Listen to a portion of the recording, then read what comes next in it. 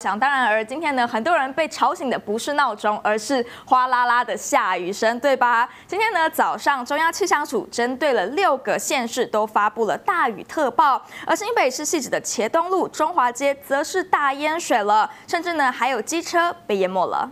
道路淹水严重，通勤族宛如骑乘水上摩托车，溅起大片雪花。受到封面影响，北台湾今天一早出现剧烈大雷雨，气象署也针对北北基桃、新竹县、宜兰县等地发布大雷雨即时讯息。双北各地也纷纷传出灾情，新北大道四段变成汪洋一片，车辆就像是开在水道上，甚至变成一条小溪流。八号月堤道路也全遭土黄泥水淹没，骑士只能涉水而过，场面相当惊险。北投一处涵洞更因为瞬间强降雨导致严重积水，淹到小腿的高度，还有两车故障卡在涵洞内动弹不得，幸好及时脱困，警方也紧急拉起封锁线，禁止车辆进入。细致时雨量更达到六十六毫米，冲在国小旁大淹水，直接超过机车的轮胎，甚至有两部机车因此倒下，躺在水中。台北市长蒋万安也将灾害应变中心提升至三级强化开设。双北一早下起大雨，有网友经过永和区竹里路一处的地下道，雨水从上方倾泻而下，现场宛如水帘洞。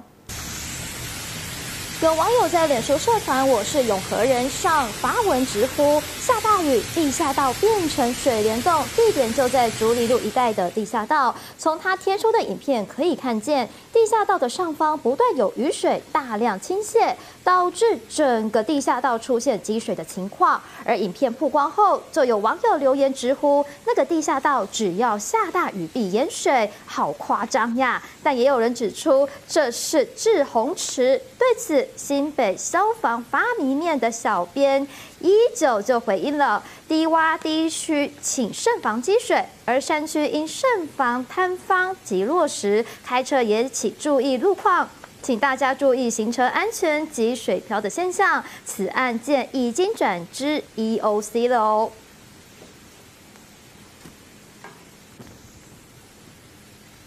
好，北台湾一早下起。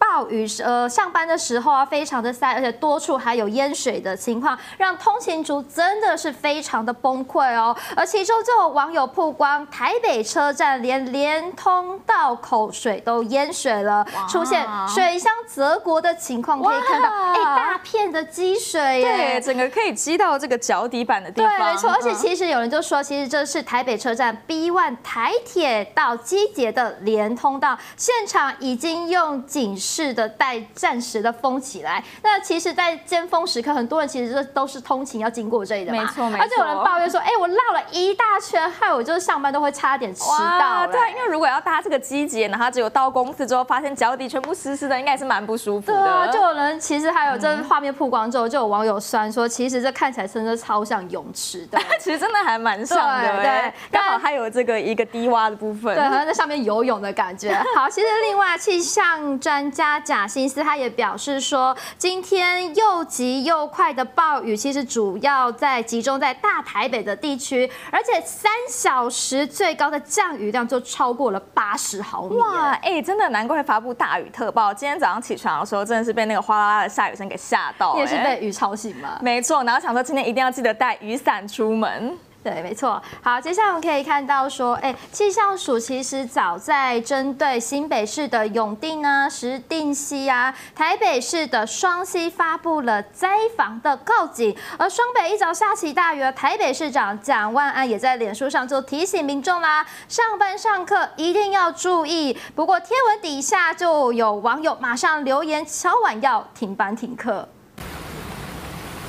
蒋万安上午七点透过脸书发文表示，上班上课请注意，因强对流云系通过士林区、北投区，北投区最大时雨量达四十八点五毫米。气象署已经针对台北市发布大雨特报，而提醒民众要留意溪水暴涨问题，并且紧速远离，请大家远离河川区域，勿从事溯溪。钓鱼、戏水等活动。而蒋万安还在留言区来补充，题外停车场的部分已发布讯息通知车主了。而有部分网友就留言，应该要延后上班两小时啊。万安，您是我今生今世看过最帅、最潇洒的男人了。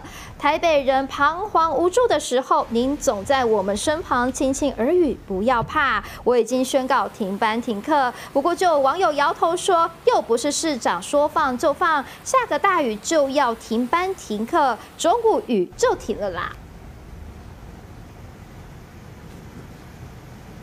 好，那今天早上雨下这么大，很多人一定会关心说，哎，到底有没有下在集水区啊？因为其实呢，今年入春以来的降雨。这状况呢一直不如预期哦。石门水库呢，从十七号的蓄水量呢，其实只剩下了二十四点三 percent。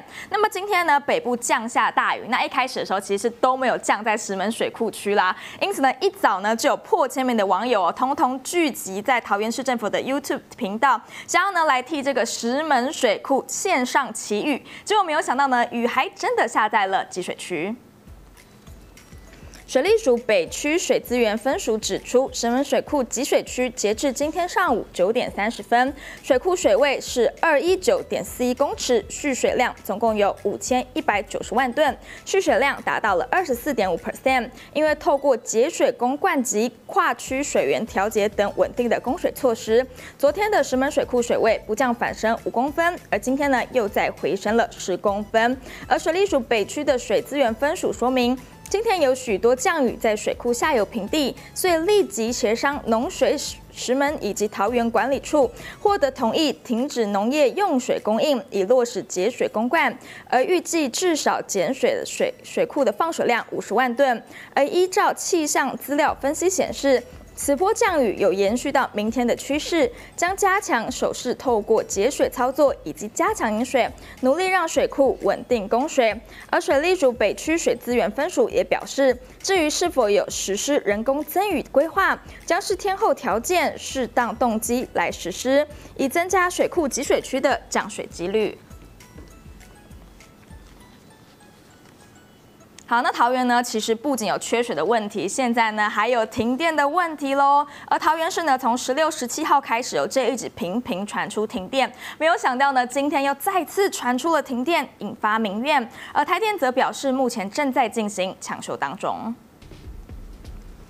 台电表示，停电的原因是因为馈线跳脱，而由于这已经是桃园第三天第四度停电，引发民怨。而台电表示，龙潭区中正路、中心路一带馈线跳脱，总共造成了五千三百三十二户停电之后，已经派员抢修。在八点一分时，透过转供四千六百五十四户复电，目前尚有六百七十八户停电。而另外，龙潭区的三林里、大坪里、民有路一带，同样因因为馈线跳脱造成了供电异常，有四千六百零五户受到影响。经过八点一分转工后，已经有三千六百七十一户复电，目前尚有九百三十四户正在抢修当中。